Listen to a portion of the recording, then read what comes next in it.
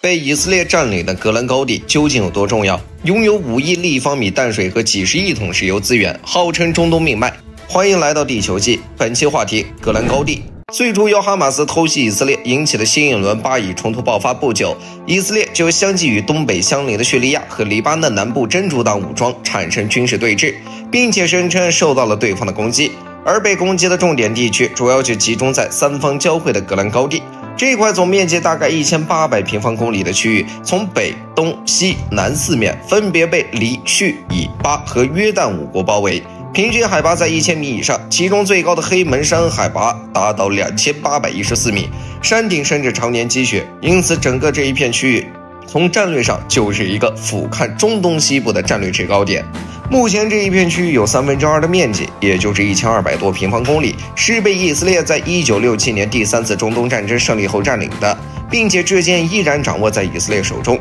但是被夺走这一地区主要地盘的叙利亚一直没有放弃伸索和试图夺回的可能性。同时，在格兰高地北部的舍巴农场也是一块被以色列占领、黎巴嫩伸索的区域，所以在叙利亚军队和黎巴嫩真主党武装的紧盯着之下。以色列对此重要的命脉之地更是不敢有半点掉以轻心。尽管其在武器装备上占据一定优势，却依然将大量的兵力部署在北部地区，以防格兰高地有失。所以，我们就能看到，在本轮巴以冲突爆发的二十多天以来，急于肃清哈马斯的以色列对加沙地带的主要攻击方式，却依然是持续加大空袭力度。截至目前，以色列国防军的地面坦克部队对加沙的攻击，按照其国防部发言人的说法，依然是有限的袭击。这并非是以色列有多么仁慈。也不是多么惧怕哈马斯，真正担心的应该是怕被调虎离山。事实上，哈马斯最初之所以能够偷袭成功，和以色列分兵防守格兰高地，因而造成的南部兵力空虚不无关系。但是，一旦以色列将重兵全部调往南部的加沙地带，全力肃清哈马斯武装的话，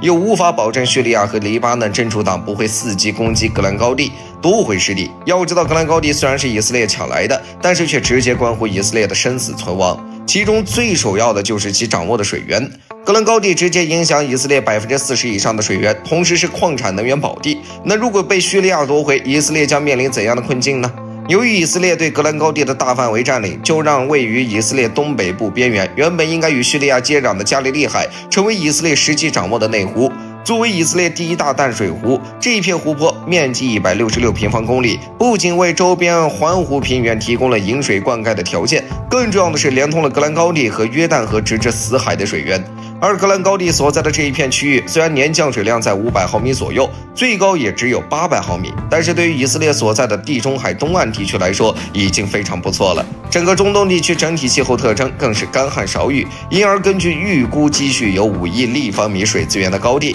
就受到了以色列的觊觎。相比于花钱又费力的海水淡化，直接占领这里，再配合加利利海这个巨大的淡水湖泊，就足以满足以色列百分之四十的淡水资源需求。但是，戈兰高地不仅原本不属于以色列，同时更影响着叙利亚西部以及约旦河东西两岸的约旦和巴勒斯坦地区上千万人的用水。以色列夺取这里，不仅能解决自己的后顾之忧，更能实现对叙利亚、约旦等阿拉伯国家的制约。同时，约旦河以西的巴勒斯坦地区更是因此被其完全拿捏。当初以色列之所以会不惜代价的攻占这里，除了担心当时叙利亚和约旦会利用格兰高地切断水源外，也是看到了这里进可攻退可守的巨大战略优势。同时，这一地区的其他丰富资源更是一个意外大礼。这里不仅拥有铜、铁、锡等大量矿产资源，而且以色列前些年经过勘探，还在这里发现了大量石油资源。根据预估，至少有十五亿桶的储量。这对于以色列来说，又是一个坚决不能放弃格兰高地的理由。但是想不想和能不能是两回事儿。虽然目前以色列能够凭借军事实力一直强占这里，但是其并不是这片土地上的真正主人。这一点从当地居民的态度就可以很清楚的看出来。当地近四万人的居民中，大部分都是穆斯林，他们拒绝加入以色列国籍，一直要求保留叙利亚国籍，实际上就是在宣称格兰高地不属于以色列。而作为对格兰高地的主要伸索国家，叙利亚永不放弃的决心肯定比以色列更强，并且从战略安全上也不会允许其一直在以色列手中。距离叙利亚首都只有六十公里的格兰高地，如果终将被叙利亚夺回，以色列又该何去何从呢？居高临下的格兰高地使得占据这里的一方拥有了极佳的战略视野，它既可以是以色列俯瞰周围穆斯林国家的防御堡垒，也可以是叙利亚攻击以色列的前沿阵地。关键要看是谁掌控了这里。不过，对于以色列来说，尽管其一直占领了这里几十年，并且在战争中多次利用了格兰高地的。优势位置，对叙利亚展开了空袭行动。但是放在整个中东地区来看，以色列一直都处在阿拉伯国家的包围之中。其虽然可以利用美国支持的技术和军事力量优势打遍中东无敌手，但是这样的优势并不会永远一成不变的保持下去。一旦叙利亚内战得以平息，实力得到恢复，回头来夺取格兰高地的行动就可能会随时展开。要知道，这地方不仅是人家叙利亚原本就镇定的国土，而且距离其首都大马士革仅仅只有六十公里，简直就是悬在叙利亚头顶的一个定时炸弹。更重要的是，格兰高地不仅位置居高临下，而且公路网密布，交通便捷，就意味着能够随时从这里展开迅速果断的军事打击行动。这是叙利亚再怎么也不愿意看到的状况。不过话又说回来，叙利亚想要夺回格兰高地，顺便置以色列于死地，也不是那么容易的事情。毕竟，在一九七三年的第四次中东战争中，叙利亚也曾试图夺回格兰高地，但是最终依然没能成功。所以，作为中东问题中非常重要的一环，戈兰高地的归属势必会在将来引发不断的争夺，除非以色列主动退出，但这显然不可能。虽然在九十年代，国际社会还曾提出过以色列、叙利亚以及联合国三分的计划，